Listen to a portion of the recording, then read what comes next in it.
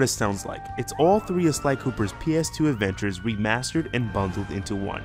Unfortunately, past quote-unquote remastered collections weren't that great on PlayStation Vita. Some played pretty bad, some were overpriced, and hell, some looked worse than it did on PS2.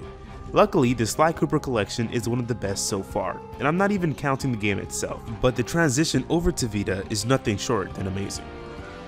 Caught you red-handed. That bazooka really brings out the color of your eyes. For starters, the game runs in the vicinity of 60 FPS, which tends to dip when there's a lot going on but should never go under 30 frames per second. Additionally, the controls feel right at home. The game is cross-save with PlayStation 3,